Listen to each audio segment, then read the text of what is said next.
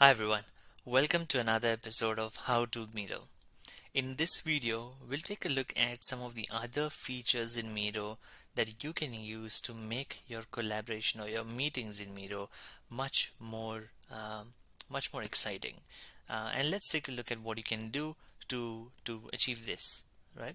So let's say we have a board right now. Um, I'm just using my own template which is the retrospective in the island of Coloquans uh, and so let's say multiple people are collaborating on this retrospective.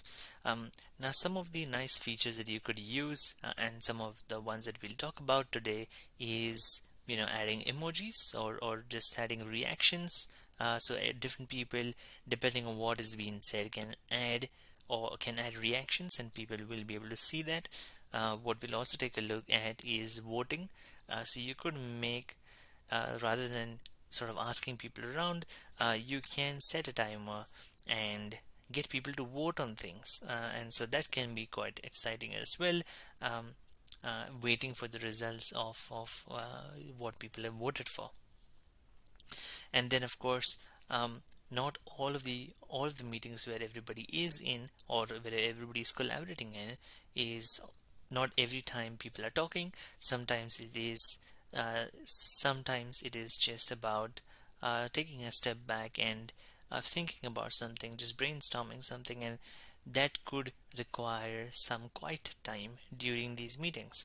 Uh, and um, and so that you don't go off track uh, you know you you would also want to set a timer. And in this video we'll take a look at how to set a timer as well for your uh, collaborative activities. So let's dive right in. So on the first thing that we look at is adding reactions. So let's say somebody has said something amazing and you want to celebrate it. You click on this option here and add a reaction. So I can click on this emoji to add a nice celebration reaction. I can click on a heart to add a heart symbol uh, and so on and so forth. I can also click on raise hand and that'll make sure that uh, this little icon shows up near my profile. I can lower a hand as well. So this is useful if you're raising a hand and lowering a hand when you have a question and when you when your question is answered. So there's some useful reactions here for you to use. The second thing that we'll look at is um, adding voting. So let's say there's a few items on the board that you want to get people to get inputs on or prioritize. What you do is you click on this thumb icon here this little uh, fist um, and click on this voting. And here you can pretty much set uh, a new sort of voting um, session for your team. So let's say vote for top activities uh, you can set the duration to how much ever time you want. You can give only one vote per person or maybe three. Um, you can also filter the number of elements that a person can click on uh, to add a vote. And so in this case it's the whole board but I can change this to only be the sticky notes. So you can only click on the sticky notes. Now if I click on start now and I can click on vote now I can see that I have one vote left.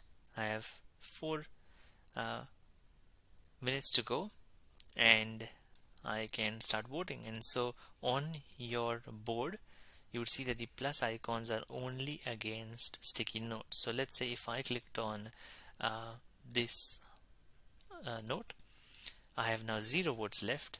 Uh, and so what I can do is I can click on done and uh, and once everybody sort of finishes their session and when the timer ends uh, you will find the voting results. So in this case I'm the only person so let me click on end voting for all.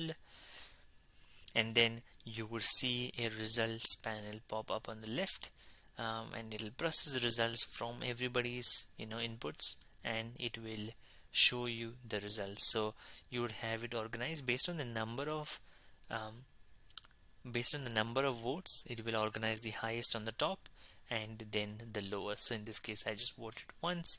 Obviously so this is just one option here. Um, but it's a nice way to get what people um, what people are thinking and and what people are voting for or what the majority of the people are voting for. I can click on the trash icon to delete this particular voting session or voting results and then close this panel now another thing what we'll look at is adding a timer. So I can click on this timer button here and I can you know change it to whatever time I want. So I can also click on I can say like 12 minutes for example and I can pick a music. So there's a few different options available. Uh, let me click on calm music calm flow music and then when I click on the play button the timer will start and a music will be played in the background um, now you can control the you know you can mute the music that you have. Uh, you can stop the timer you can pause the timer or you can also add a minute or five minutes just by clicking this button. So I've just stopped the timer now but of course when the timer actually ends on its own uh, it will give you a ring sort of like an alarm then the timer is ended and then of course you guys can regroup.